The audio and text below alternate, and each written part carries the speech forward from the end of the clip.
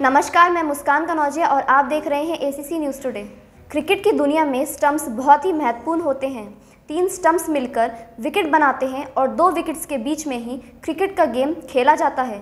Stumps को आपने अक्सर किसी मैच या सीरीज़ की जिताने वाली टीम के खिलाड़ियों के उखाड़ कर अपने साथ ले जाते हुए देखा होगा। क्रिकेटर्स ऐसा क्यों करते हैं? क्या आजकल जो लेटेस्ट लीड स्टंप्स इस्तेमाल हो रहे हैं, उन्हें भी खिलाड़ी अपने साथ ले जा सकते हैं?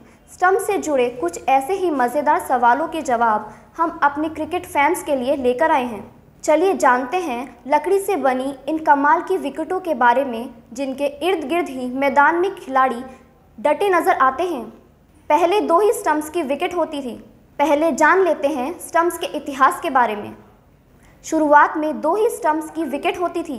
दोनों तरफ़ इन्हीं को लगाकर खेल खेला जाता था, मगर 1775 में एक मैच के दौरान एक बॉलर की गेंद तीन बार दोनों स्टंप्स के बीच से निकल गई और बेल्स गिरी नहीं नहीं। तब इस परेशानी से बचने के लिए तीसरे स्टंप्स को विकेट में जगह दी गई। इन दोनों के बीच दो छोटी सी बेल्स रखी जाती हैं, जो थोड़ी सी ही हरकत होते ही गिर जाती हैं।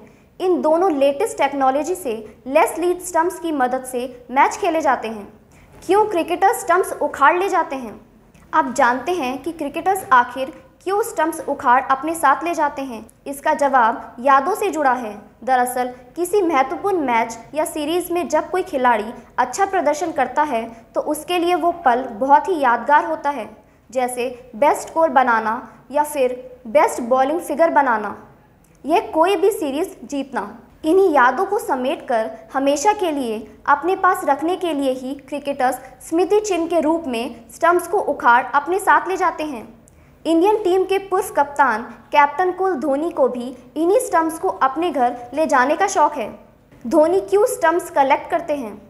एक बार जब उनसे पूछा गया कि आखिर वो इन स्टम्प्स का क्या करेंगे, तब इसके जवाब में एम एस धोनी ने कहा था, ये मेरे रिटायरमेंट प्लान का हिस्सा है, जो स्टम्प्स मैं लेकर जाता हूँ, उन पर मैंने कोई लेबलिंग नहीं की है कि कौन सा स्टम्प किस मैच का है।